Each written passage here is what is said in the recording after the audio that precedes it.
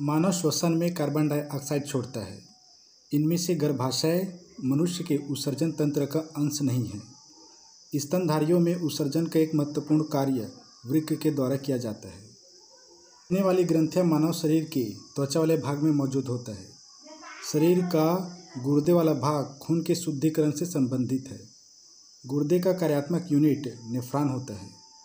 के लीवर भाग में अमोनिया का यूरिया में बदला जाता है। यूरिया का निर्माण यकृत में होता है, यानी लीवर में। यूरिया का सर्वाधिक सांद्रण यकृत के सिरा में होता है। क्रिएटिन सामान्य मूत्र में पाया जाता है।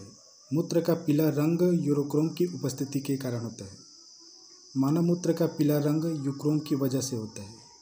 विलीन रंग द्रव्य की उपस्थिति के कारण मानव के मल का रंग पीला होता है। पसीना शरीर को ठंडा करता है, क्योंकि वाष्पीकरण के लिए गुप्त उष्मा की आवश्यकता होती है। मानव शरीर की मस्तिष्क कोशिकाओं में सबसे कम पुनर्योजन शक्ति पाई जाती है। मानव मस्तिष्क का वज़न शरीर के कुल वज़न का लगभग दो परसेंट होता है। मानव मस्तिष्क का सेरिब्रम बुद्धि, स्मृति और भावनाओं का केंद्र होता है। मानव मस्तिष्क का हाइपोथैलेमस भूख, प्यास और निद्रा का केंद्र होता है। शरीर का तापमान नियंत्रित करता है तो इसमें हाइपोथैलेमस आता है। प्रेरक कौशल मस्तिष्क के ललाट वाले भाग से संबंधित है। मानव मस्तिष्क की शंखपाली श्रवण से संबंधित है। मस्तिष्क का सेरिबेलम वाला भाग मोटर नियंत्रण में भूमिका निभाता है।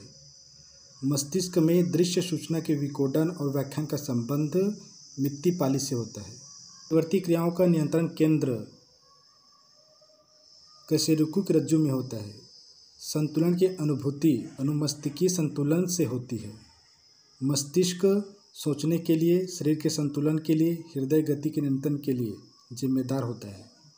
श्वसन का नियंत्रण मस्तिष्क के मेडुला आबलागेंटा वाला भाग से होता है। आंतरिक गति नियंत्रक मानव शरीर के दिल वाले भाग से होता है। मानव हृदय में चार कक्षकों की संख्या होती है। सामान्य व्यक्ति में दिल का धड़कन की औसत दर बहत्तर होता है।